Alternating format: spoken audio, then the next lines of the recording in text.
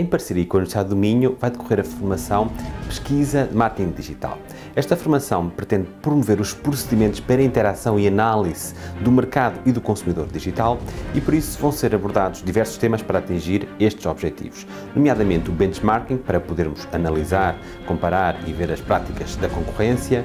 Eh, vamos ver também eh, como é que está a funcionar a procura e a oferta no mundo digital, extrapolando assim também para o mundo real.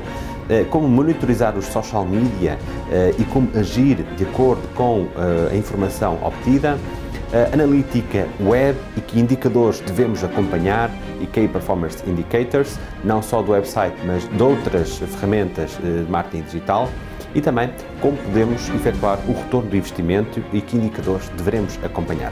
Por isso, esta formação em parceria com a Universidade do Minho vai decorrer em Braga, uh, e vai ter a duração de 25 horas. Por isso, reserve já o seu lugar, pois as vagas são limitadas.